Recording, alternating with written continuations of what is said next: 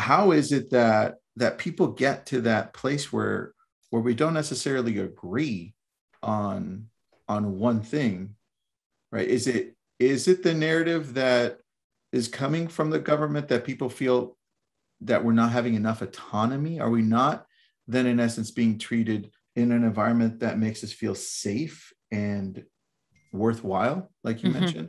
Where does that stem from?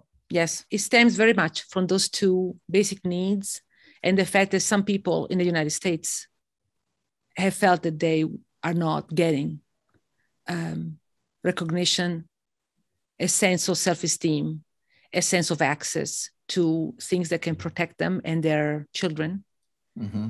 and when you feel deprived of all of those things mm-hmm. you find every possible way to reestablish a sense of self, a sense of worth.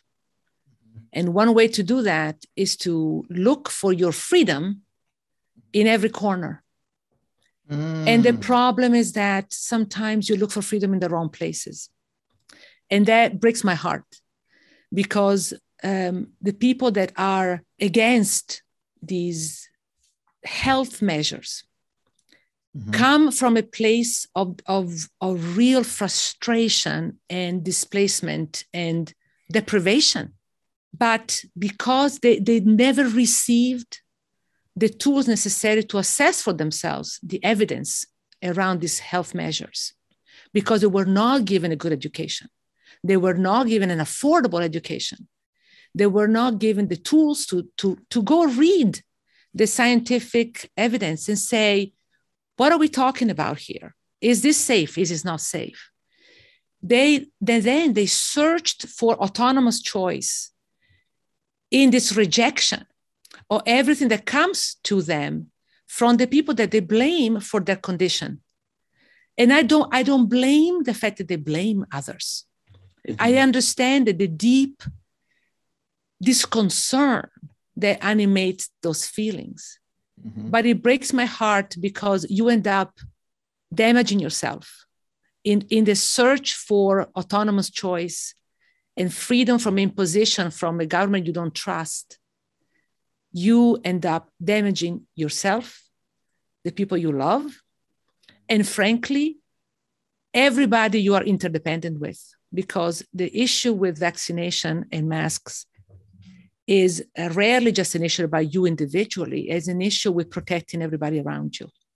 And we end up being so wrapped up in our personal needs that we forget that it's not just about us individually, it's about, it's about living together in peace and prosperity and helping each other out. And the scientific evidence is actually quite overwhelming that this stuff is safe. It's actually quite overwhelming that we should all embrace it. But the, the, the lack of trust and the sense that those people with those high, um, you know, scientific credentials or political power have been throwing stuff at us without giving us access to all of those opportunities to grow and learn and, and be good and be wealthy and be situated well in our society. They, yeah. you know, we, we are pushed down. And so we push back. And actually, the research, uh, our research shows it.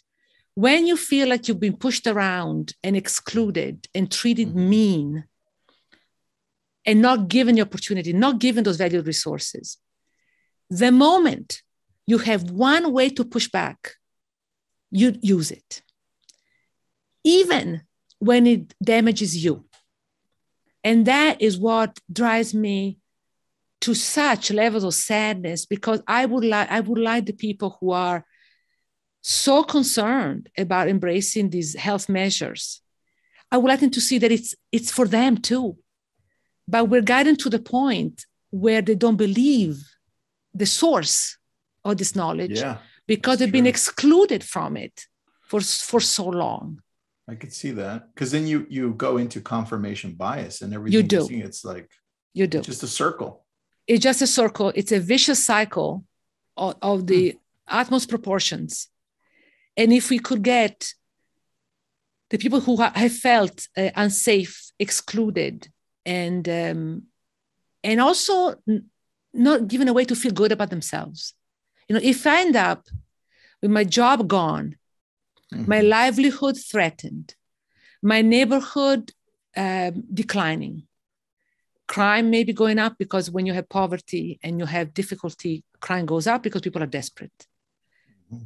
I am not here very eager to hear it from the so called elites telling me, get the vaccine, it's good for you because I don't trust them anymore. I don't, don't want to hear. I don't want to hear yeah. from those guys, right? I don't want to hear it, except that it will be truly honest to goodness in your best interest in this particular set of circumstances to embrace that resource because it's a resource that can help us all.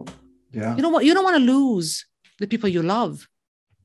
You don't want to lose talented people in your in your community that die and they can no longer contribute to that to the to the to the prosperity of the community.